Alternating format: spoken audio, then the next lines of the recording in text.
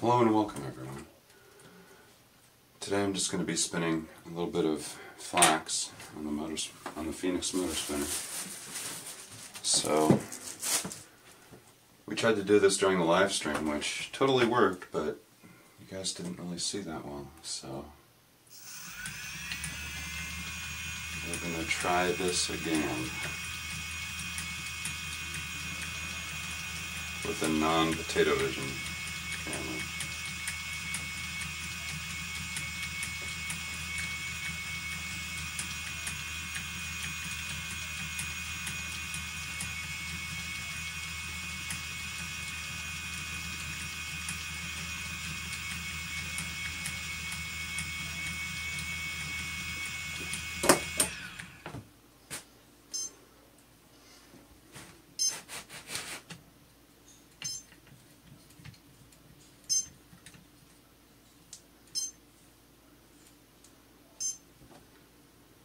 Doing this real time with all my mistakes, like over twisting it.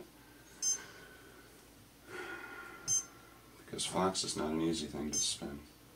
And I figure showing you a little bit of how a new spinner like me will struggle sometimes with new fiber.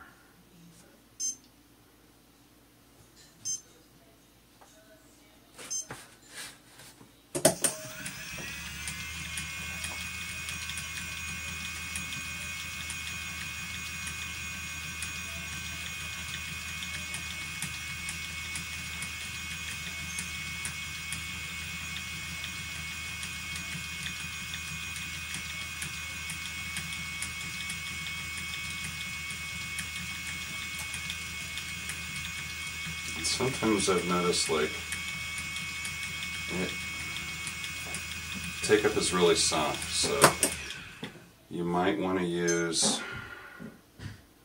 the heavier take up pulley for spinning flax, especially a larger gauge flax. I'm having a bit of problem spinning just about any size, but trying to get not over twisted on.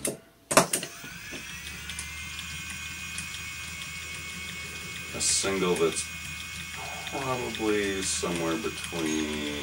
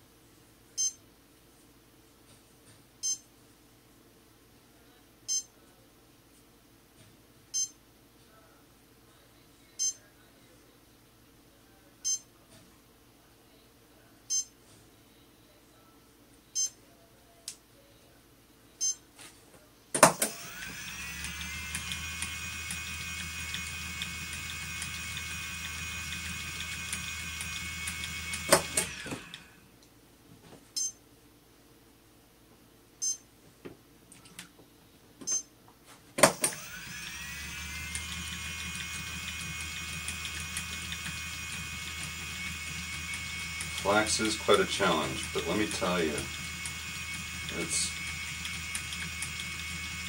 so strong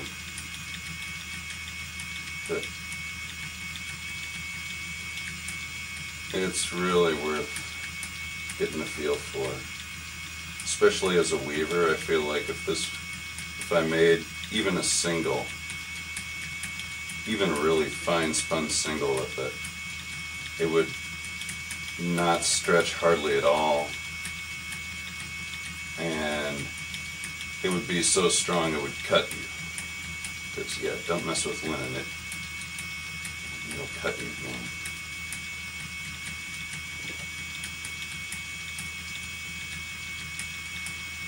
It'll cut through plastic, I guess that's why some motor spinners wouldn't.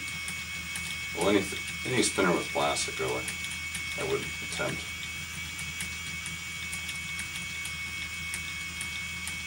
The Phoenix is made of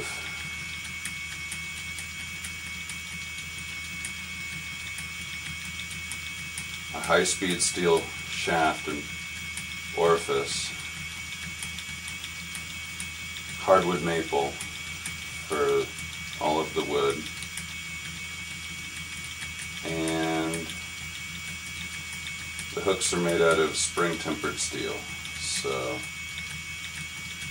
this will have absolutely no problem. Just eating up flax.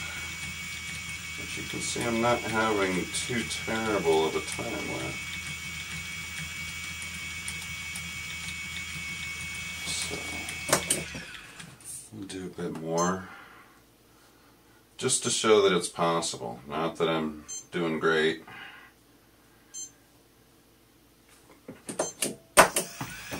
But that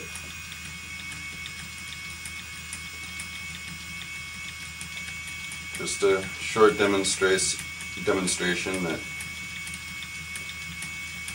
just a little bit of practice like me.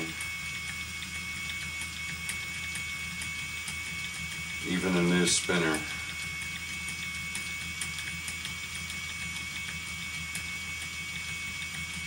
Can really get a hold of something that's difficult like flax.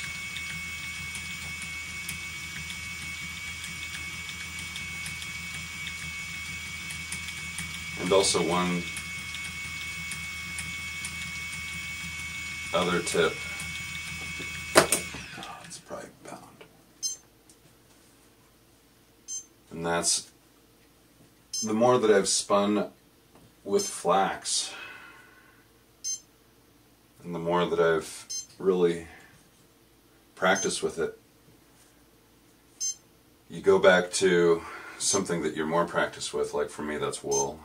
And it just feels so easy. It just lets you kind of develop your skill and touch, not just for, for one fiber, but for almost all fibers. You can kind of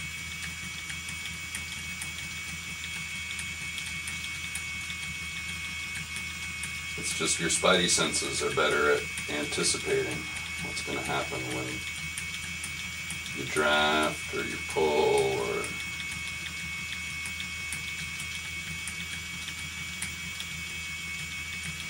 Need to get closer here. I'm getting too much twist. And I got a big old rat's nest in there. Great job, you know.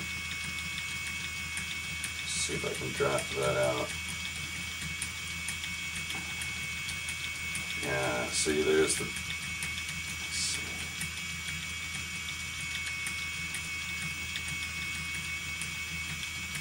Uh, I pinch it? Did I pinch it too much? Oh, I made it.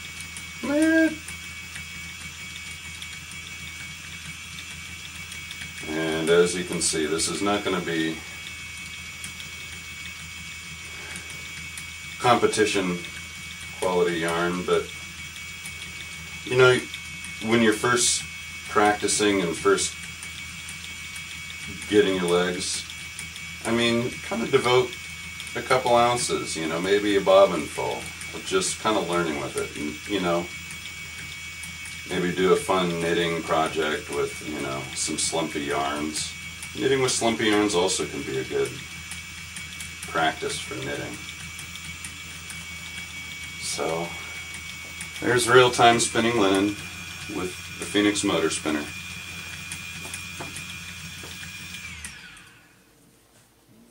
Thank you for joining us, and until next time keep on treadling.